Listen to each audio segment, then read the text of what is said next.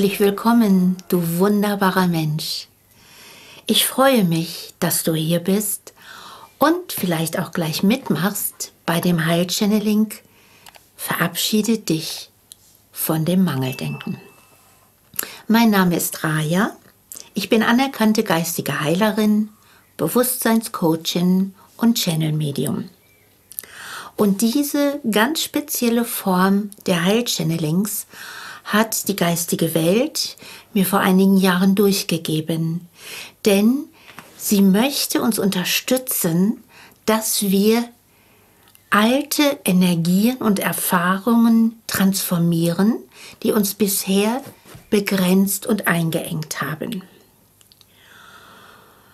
Und dieses Video ja, kurze Info noch, das Video wirkt immer, egal wann du es hörst, äh, wann du es gerade entdeckst und Lust hast mitzumachen, die Energie bleibt erhalten. Und es kann auch sein, dass du bei dem einen oder anderen Thema der Heilchannelings den Impuls bekommst, ähm, das noch einmal zu machen. Dann vertraue dir, weil es gibt manchmal sehr tiefgehende Themen, wo die Seele dann das Ganze Schritt für Schritt abträgt, die alten Erfahrungen. Und wenn du den Impuls hast, auch ich mache das nochmal, dann mache es. Es wird dir dann gut tun. Ja, und um dieses Thema, also beziehungsweise um dieses Heilchanneling zum Thema Mangeldenken, hat die geistige Welt selber gebeten. Ich hatte so ein, zwei andere Themen als Idee und gestern Morgen war klar, nein, Mangeldenken. Denn es ist so, die geistige Welt sieht uns ja als das, was wir wirklich sind, die großen, freien Lichtwesen. Und wir haben uns natürlich ein bisschen kleiner gemacht, unser Licht etwas verdunkelt, weil wir hier auf der Erde mitspielen wollten, weil wir erfahren wollten, wie ist das, ein Mensch zu sein, wie ist das, Glaubenssätze zu haben, Ängste zu haben, Sorgen zu haben, ähm, all diese menschlichen Erfahrungen. Und das haben wir wirklich zur Genüge in vielen Inkarnationen durcherlebt. Jetzt ist ja die Zeit der Veränderung. Und die Schwingung auf der Erde ist bereits höher geworden, steigt auch weiter. Und unsere Seelen möchten jetzt auch, dass wir selber Erfahrungen in höheren Schwingungen machen. Also Schwingungen oder Erfahrungen in niedrigeren Schwingungen ist zum Beispiel Mangel, ist Angst, ist Verzweiflung. Höhere Schwingungen sind Vertrauen, Mut, Dankbarkeit, Liebe, Freude. Und da möchte unsere Seele mit uns jetzt auch hin, dass wir das erleben. Und dazu ist es wichtig, dass wir diese alten Erfahrungen, die ja zum Teil über Generationen weitergegeben worden sind und in uns gespeichert sind, dass wir die verabschieden. Denn dieses Denken des Mangels, das ist eh ein, eine, ja, fast eine menschliche Erfindung weil ähm, Mangel in der Form, wie wir Menschen das kennen, kennt keine andere Spezies auf der Erde. Die Natur ist Hülle und Fülle. Eine Pflanze hat unendlich viele Samen. Ähm, es gibt so viele Flüsse, Seen, es gibt Land. Es gibt so viel in der Natur. Und wir Menschen haben es wirklich geschafft, aus fast allem ein Mangelthema zu machen. Natürlich kennen wir Mangel in materiellen Sachen, in finanziellen Sachen. Viele kennen auch das Gefühl Mangel an Liebe, Mangel an Selbstliebe. Mangel an Zeit, ich habe keine Zeit. Äh, Mangel an Wertschätzung und dieses Ich bin nicht gut genug ist ja auch eine Form von, ja, ich empfinde mich als mangelhaft. Und im Prinzip beruht auch die zum Teil sehr bekannte Eifersucht auf einer Mangelenergie. Einmal die Mangelenergie, da ist jemand, den muss ich für mich festhalten. Und zum anderen, ich bin nicht gut genug, er findet woanders was Besseres. Also, oder sie. Also das äh, gibt es ja in beiden Varianten. Das ist, dieses Mangeldenken ist teilweise uns gar nicht mehr bewusst, weil es schon so tief drin sitzt. Und Mangel ist, wie gesagt, eine niedrig schwingende Energie, verdunkelt unser Licht und ja, macht das Leben auch nicht gerade freudig und leicht. Und deswegen ist es der geistigen Welt ein großer Wunsch, dass wir dieses Mangeldenken verabschieden. Denn es ist ja häufig wirklich nur ein Denken. Menschen in unserer westlichen Zivilisation, die glauben, dass sie einen großen finanziellen Mangel haben. Ja, es gibt Menschen, denen es finanziell schlecht geht. Und doch liegt es daran, womit vergleichen wir uns? Vergleichen wir uns mit denen, denen es besser geht? Oder vergleichen wir uns mit denen, die noch weniger haben? Und davon gibt es noch viel, viel mehr. Also diese, das Gefühl, in einem Mangel zu sein, egal auf welchen oder in welchem Bereich, hat häufig ähm, ähnliche Ursachen, nämlich Bewertung, wenn ich sage, ich bin nicht gut genug, ich habe nicht genug, ähm, das ist eine Bewertung. Wer sagt denn, was genug ist? Das sind alte Glaubenssätze, teilweise in der Familie weitergegeben. Ja, wir nagen schon immer am Hungertuch oder sonst irgendwas. Oder ich bekomme nicht genug Liebe. Ich werde nicht gewertschätzt. Also ganz viel ist wirklich Bewertung, Betrachtungsweise, Glaubenssatz und Denkmuster. Und all das und auch die ganzen alten Erfahrungen des Mangels wird die geistige Welt in dem kommenden Heilchanneling für dich transformieren. Und dann bist du gefragt. Dann liegt es an dir, wie du weitergehst.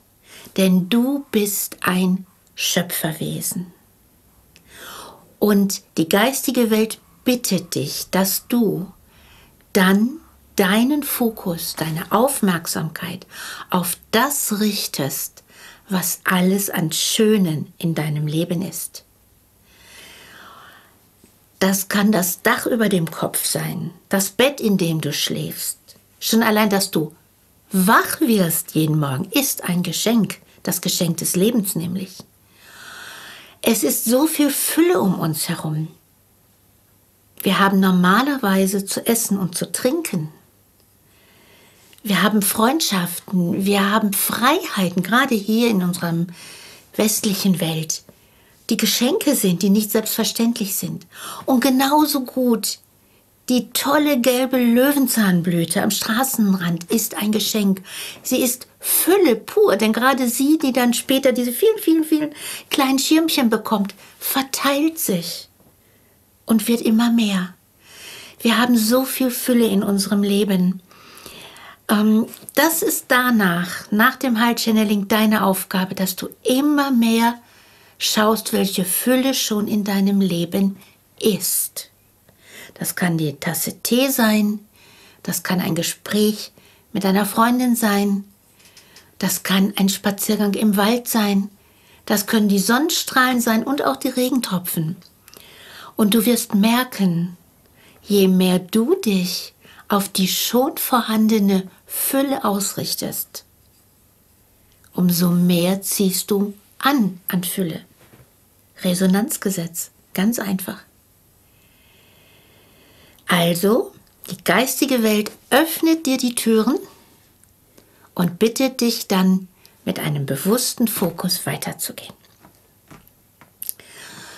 Und jetzt starten wir mit dem Heilchanneling. Das Heilchanneling findet wieder statt in deinem heiligen Herzraum. Bitte mache gerne mit, dann hat es wirklich die kraftvollste Wirkung.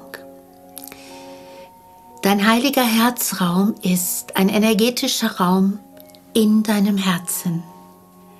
Es ist dein inneres Zuhause und in deinem heiligen Herzraum bist du immer willkommen und du wirst immer geliebt, wenn du hineingehst, egal was gerade ist und egal wie du gerade drauf bist. Und du kommst ganz leicht hinein in deinen heiligen Herzraum. Sieh vor dir dein körperliches Herz, diesen wunderbaren Muskel, wie er schlägt und deinen Körper am Leben erhält.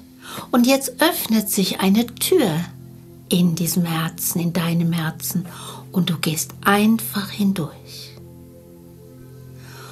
Und du bist in deinem heiligen Herzraum. Du spürst die angenehme Wärme, diese Schwingung. Und du weißt, du bist willkommen. Und du bist angekommen in deinem Zuhause.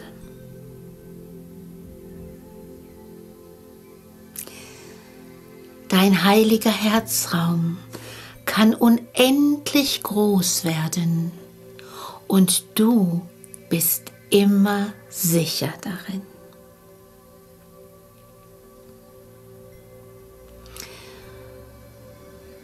Für die Transformation bitten wir dich jetzt, dass du mit deinen Worten laut oder leise die Inkarnationen aus deiner Ahnenreihe oder vielleicht auch die Inkarnationen direkt deiner Seele in deinen heiligen Herzraum einlädst, die Inkarnationen, die mit dem Thema Mangel zu tun haben. Es gibt Inkarnationen, wo dieses Thema in deinem Seelenumfeld das erste Mal als Energie erzeugt wurde. Diese Inkarnation kommt und alle anderen, die dieses Thema dann immer mal wieder mehr oder weniger gelebt haben, und vor allem kommen alle Inkarnationen, die dieses Thema an dich weitergegeben haben.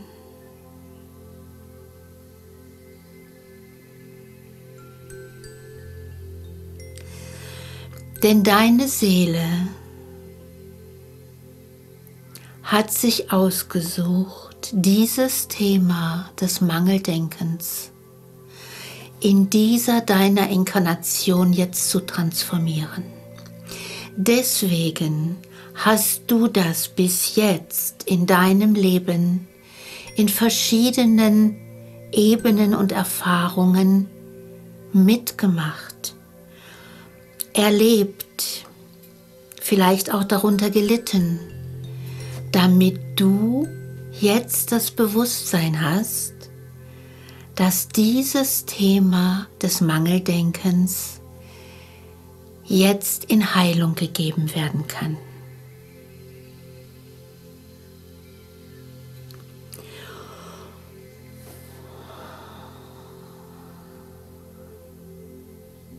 Wir schauen nach.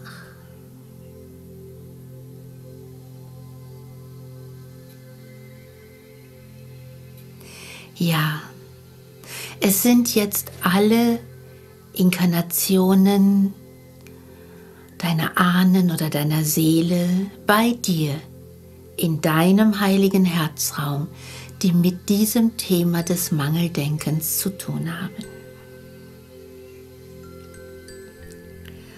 Und für die Transformation reicht ihr euch jetzt die Hände mit den Innenflächen nach oben wie eine Schale. Das macht ihr alle gemeinsam und alle eure Hände bilden jetzt eine große, große Schale.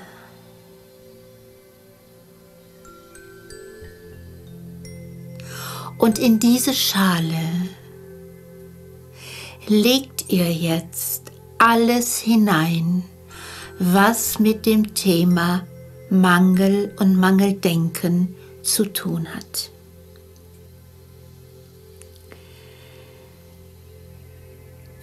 Deine Ahnen und Ahninnen und Seeleninkarnationen legen alles hinein, was sie jeweils erlebt haben, gedacht haben, an Gefühlen, an Erfahrungen, ähm, vielleicht auch das Gefühl von Ungerechtigkeit, was immer da auch ist. Sie legen alles in diese große Schale und du legst all deine Erfahrungen mit dem Thema Mangel auch in die Schale. Egal welcher Mangel, finanziell, wertmäßig, also dass du deinen Wert noch nicht erkannt hast, gedacht hast, du wärst nicht gut genug, du könntest zu wenig. Das Zeitthema, keine Zeit zu haben, nicht geliebt zu sein, auch zu wenig Selbstliebe, was immer dir dazu einfällt oder das Gefühl, zu kurz gekommen zu sein, wenn deine Eltern vielleicht viele Kinder hatten oder bei der Arbeit nicht gewertschätzt zu werden, was immer dazu gehört, lege alles, alles, alles hinein. Jede Erinnerung, jedes Gefühl dazu. Das kann Traurigkeit sein, das kann aber auch Ärger sein und auch mal Wut und Ungerechtigkeit, vielleicht auch Verzweiflung, Hilflosigkeit, alles, was dazugehört. Lege alles, alles hinein. Und vor allen Dingen, falls du so Sätze in dir hast wie, ich bin auch nicht mehr wert. Ja, ja, passt schon für mich. Ich darf keine Ansprüche haben, ich muss ja zufrieden sein mit, was immer da in dir hochkommt. Lege alles hinein. Du hast jetzt die Zeit dafür.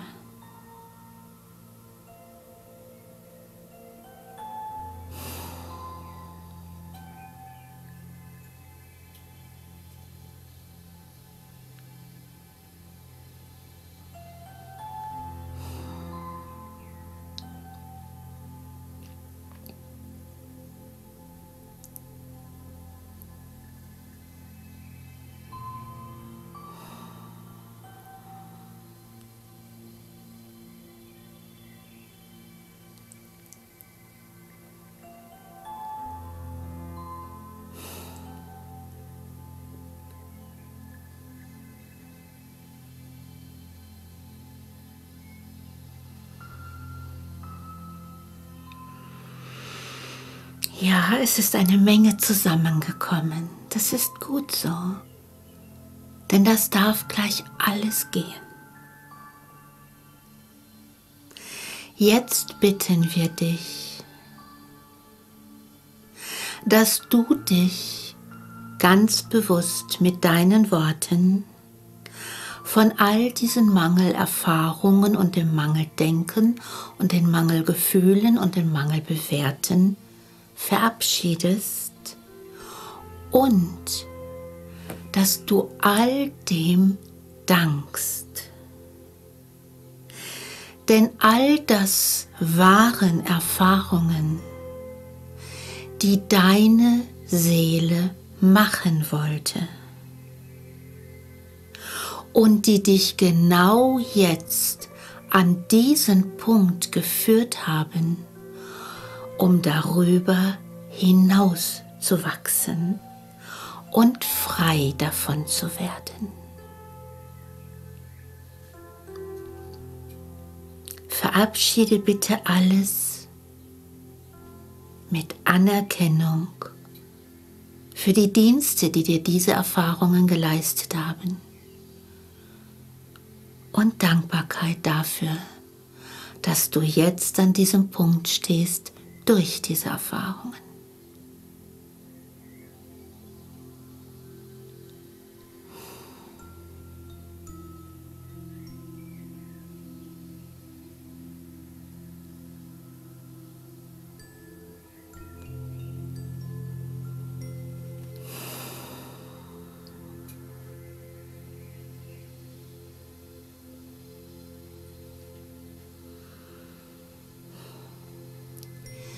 Wir danken dir dafür. Und jetzt beginnt die Transformation. Tief aus dem göttlichen Herzen von Mutter Gaia erhebt sich jetzt fließendes, goldenes Licht, das aufsteigt, fließend, weich und kraftvoll und durch alle Erdschichten steigt. Und dieses goldene Licht kommt heraus genau unter der großen, großen Schale eurer Hände. Und dieses goldene Licht steigt auf bis unter diese Schale. Es umfließt eure Hände von allen, allen Seiten und fließt hinein in die Schale eurer Hände von allen Seiten. Und dieses goldene Licht von Mutter Gaia hebt jetzt an, hebt ein wenig an all das, was ihr in diese Schale gelegt habt.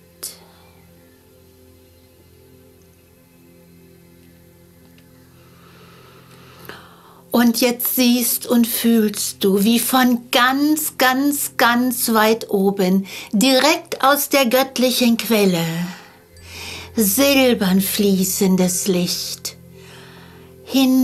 hinabsenkt sich, fließend, strahlend, funkelnd, in Form einer Spirale, die immer größer wird, die so groß wird, dass sie sich auf eure Hände legt auf den Rand dieser Schale.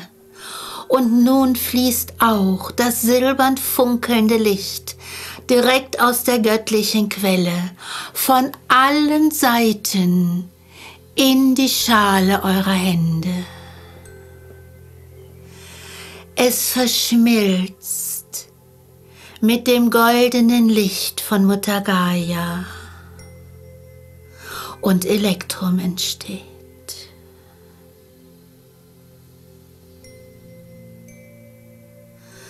Und jetzt übernimmt das silberne, strahlende, funkelnde Licht der Quelle alles, absolut alles, was ihr hineingelegt habt in die Schale. Und es ist auch alles dabei, was ihr vielleicht vergessen habt.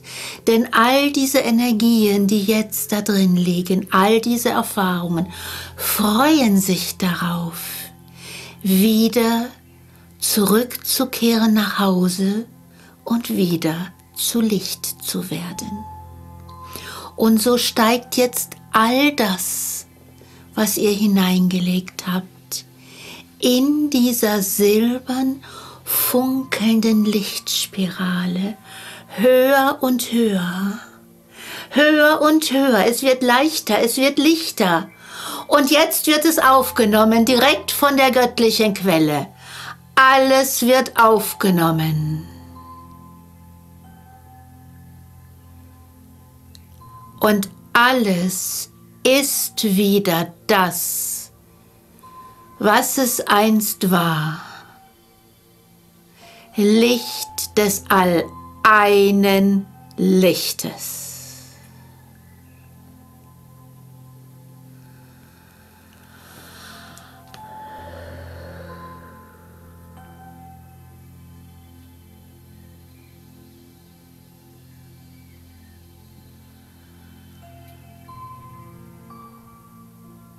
Eure Schale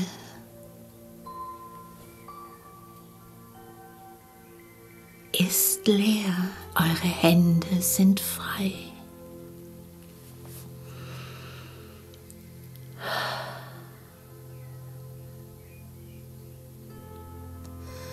Und jetzt rieseln herab, direkt aus der göttlichen Quelle.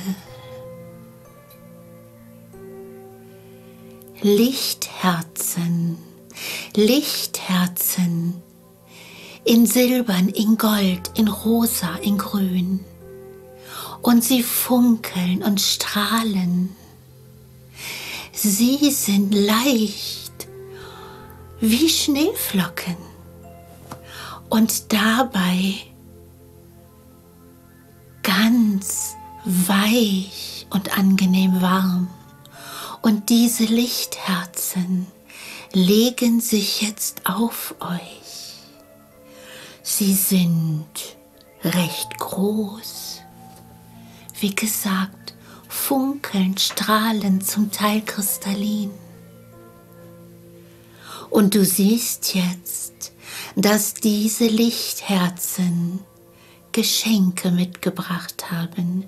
Geschenke direkt aus der göttlichen Quelle, nämlich Energien, hochschwingende Lichtenergien,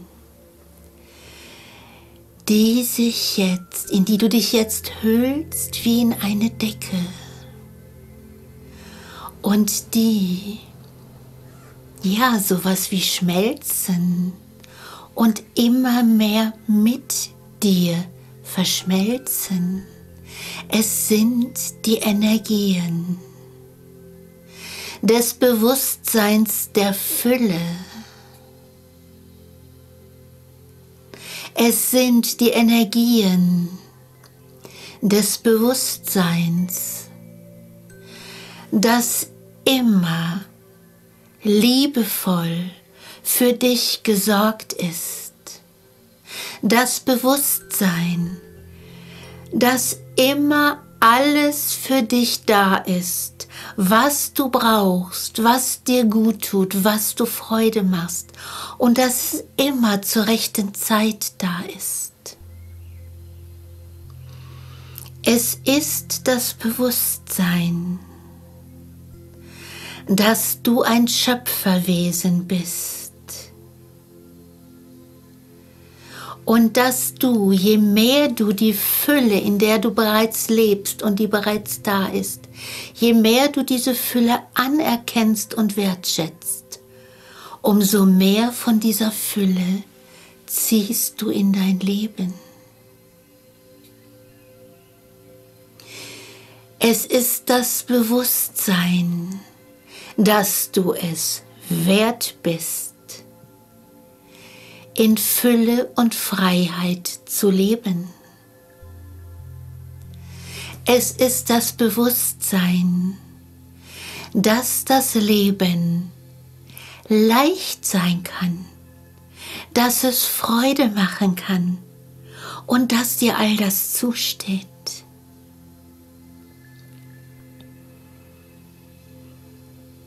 Es ist das Bewusstsein, dass du unendlich liebenswert bist, genauso wie du bist.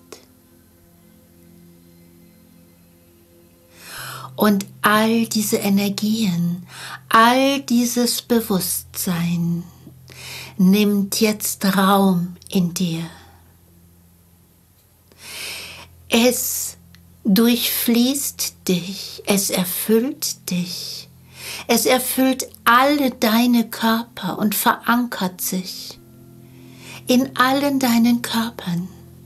Es verankert sich in jeder Zelle deines irdischen Körpers, in jedem Zellkern und in dem großen, freien Raum dazwischen. Und all dieses Bewusstsein verankert sich in dem Raum in dir, der frei geworden ist durch all das, was du abgegeben hast. Dieser freie Raum ist jetzt erfüllt von deinem Bewusstsein der Fülle, von deinem Bewusstsein, dass du Fülle und Reichtum auf allen Ebenen wert bist und von dieser Fülle bereits umgeben bist. Es eröffnet sich in dir das Wahrnehmen all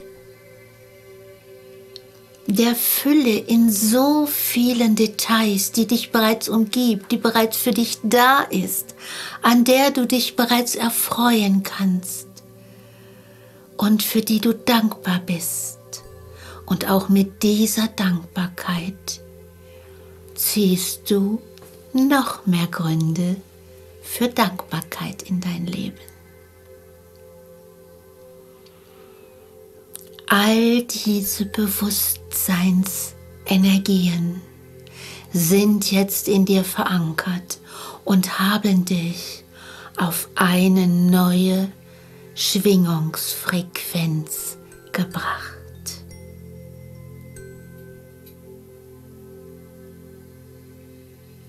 Und wir bitten dich jetzt darum, dass du dir mit deinen Worten gerne laut die klare Absicht gibst, dass du ab jetzt ausgerichtet bist auf die Fülle, auf den Reichtum und die Freiheit in deinem Leben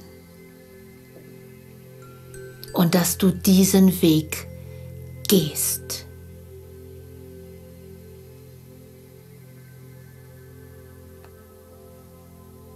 Bitte sprich es mit deinen Worten, deine Absicht, dass du ab jetzt ausgerichtet bist auf die Fülle, die Freiheit und den Reichtum in deinem Leben.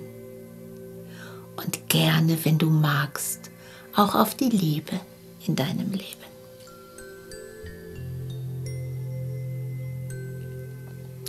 Und wenn du es dreimal sprichst, so erhöhst du die Wirkung.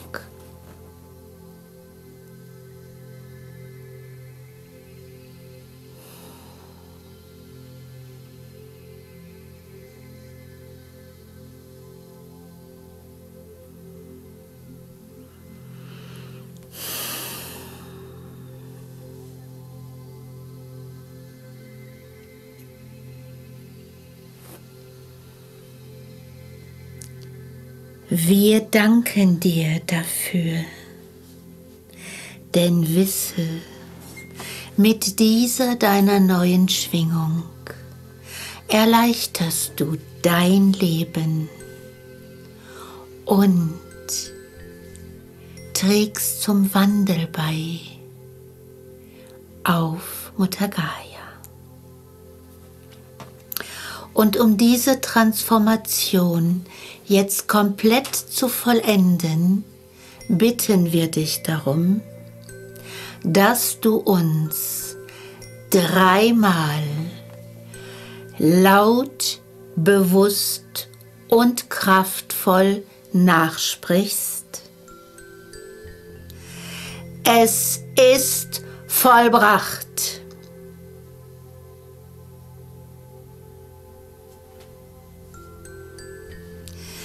Es ist vollbracht.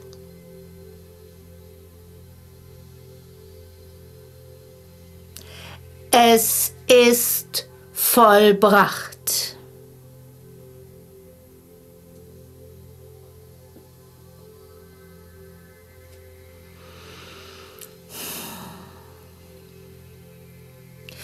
Und bitte ebenfalls dreimal zu all den Inkarnationen in deinem heiligen Herzraum und zu dir. Ihr seid frei und ich bin frei.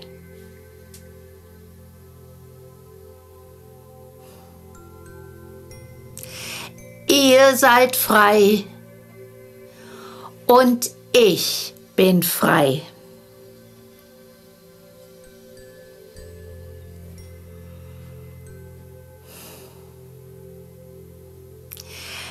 Ihr seid frei und ich bin frei.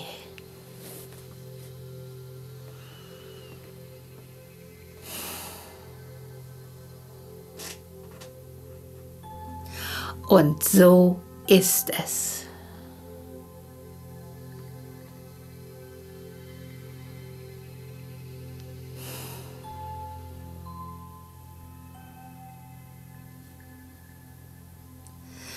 Und jetzt bitten wir dich, dass du all die Inkarnationen liebevoll aus deinem heiligen Herzraum verabschiedest. Und vielleicht nimmst du wahr, dass sie anders gehen, als sie gekommen sind.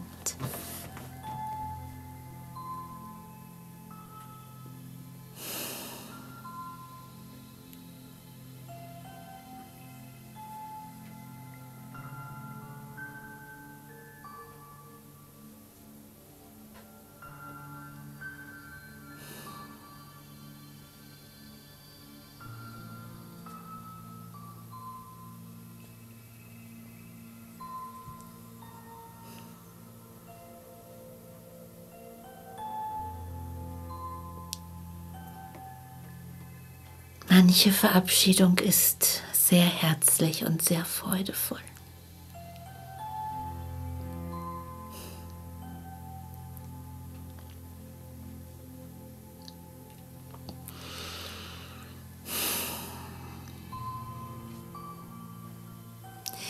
Wir erinnern dich nochmal an unsere Bitte, dass du ab jetzt deine Aufmerksamkeit und deinen Fokus auf die Fülle und die Freude in deinem Leben richtest. Es mag sein, dass dein Verstand aus alter Gewohnheit hin und wieder mit seinen alten Bewertungen und Gedanken ankommt.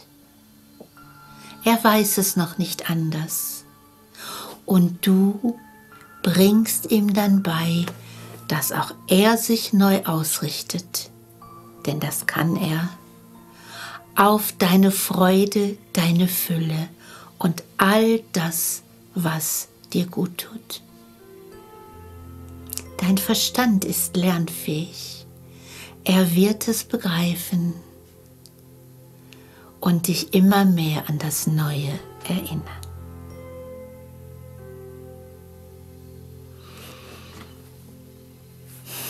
Wir danken dir und wir segnen dich in Liebe.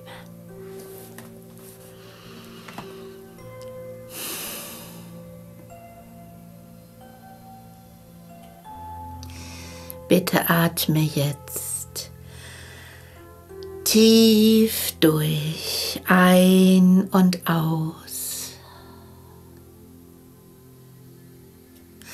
Komme langsam wieder an im Hier und Jetzt. Recke und strecke dich und öffne in deinem Tempo deine Augen.